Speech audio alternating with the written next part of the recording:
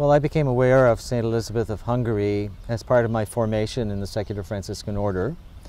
And I suppose, like many secular Franciscans, uh, I knew very little more than she was the patron of the order. 42 years ago, when I was uh, 15 years old, uh, the first one I met was Saint Elizabeth because at that time she was uh, proclaimed, as it is now, as our patroness.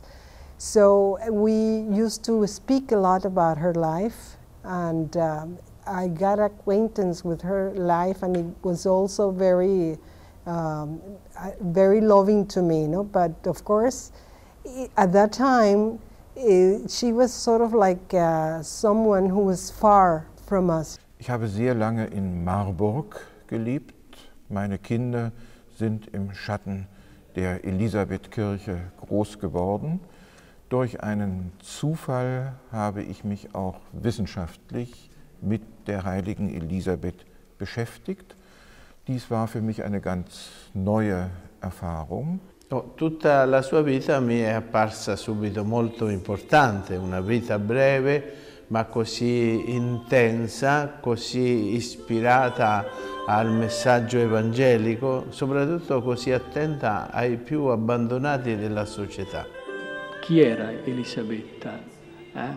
come si è sviluppata la sua spiritualità, come eh, è diventata eh, no, così grande da un punto di vista spirituale, da che cosa è originata questa sua santità.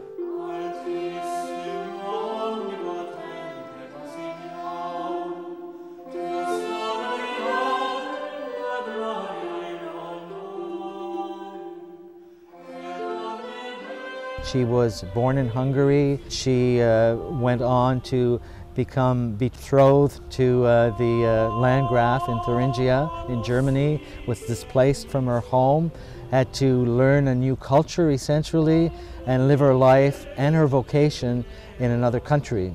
Husband and wife would marry, but just because they were under a commitment that usually their parents had made before them. So it was also something, I mean, the marriage had nothing to do with love.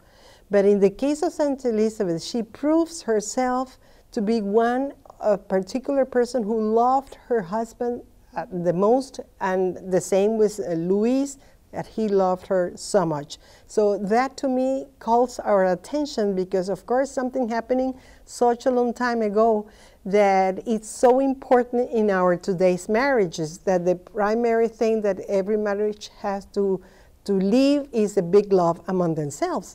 Mi ha affascinato la personalità di Elisabetta e la sua santità. Vedere come è possibile una persona vivere di una forma assoluta per Dio. Era Dio, Dio, Dio e vedeva in tutte le cose, in tutti gli uomini, la presenza di Dio e in tutti i poveri la presenza di Cristo. Giullari anche loro, questi fratelli, fraticelli di Assisi, che sono anche loro giullari di Dio che cantano eh, nella, nella, corte dei Langravi Elisabetta e Lodovico, anche loro cantano le, i fioretti di Francesco e, e chiaramente no, c'è questa impressione su questa giovane eh, di questa libertà, di questa ricchezza eh, intérieure di, questi, di queste persone. Les sujets de son, euh, de son mari, qui devait être roi, apportaient de, l'argent ou euh, des produits du, des champs au château. Et bien souvent, pas d'une manière honnête. Il prenait beaucoup plus chez les pauvres, chez les gens. Mais Elisabeth ne voulait pas manger ou prendre ou puiser dans ce qu'il y avait de frauduleux. Il a fait la leçon à son mari et son mari l'a respecté. Lui a respecté cela. E anche la donna che prima era legata alla casa, al lavoro di famiglia, e adesso invece partecipa attivamente alla vita dei comuni, della società, delle organizzazioni, dei primi sindacati. E, e allora anche qui abbiamo che Elisabetta esprime questa nuova era della donna, cioè non più la donna messa un po' al margine, ma una donna protagonista che fa delle sue scelte eh, operative a livello di socialità, di carità, di, di, di utilizzo dei beni disponibili. But of course, nowadays she's became, I mean, some very, very, very close to, to me because I'm married, I have children, and I have to do all my activities in the secular Franciscan order uh, just the way she used to do it because she used to take care of her husband, of her children, as well as taking care of the many activities, uh, in charity activities that she went along with. Lei ha fatto come Gesù sempre guardare le persone e c'è una sensibilità nella gioventù di oggi, credo io, per guardare le persone. Non soltanto le istituzioni o um, i valori uh, che vengono pregiati in televisione, giornali, nella vita attuale, ma anche c'è questo atteggiamento davanti alle persone. E questo Elisabetta è la maestra numero uno. Et puis, Elisabeth nous donne cette leçon de piété.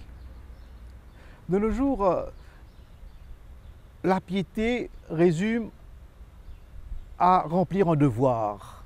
Le carême arrive, il faut mettre les cendres, il faut euh, aller à la confesse, il faut assister aux cérémonies, superficiellement. Carême terminé, c'est fini, on retourne pire qu'avant.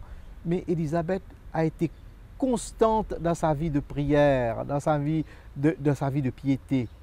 Well, of course, the story that uh, is probably the most common one about Elizabeth is uh, the one about her going to uh, visit the poor and to provide bread to, to the hungry, and how that was uh, not very well received by the royal household in which she lived, and how, when she was challenged about uh, doing this, the loaves of bread uh, apparently turned into uh, uh, roses, flowers.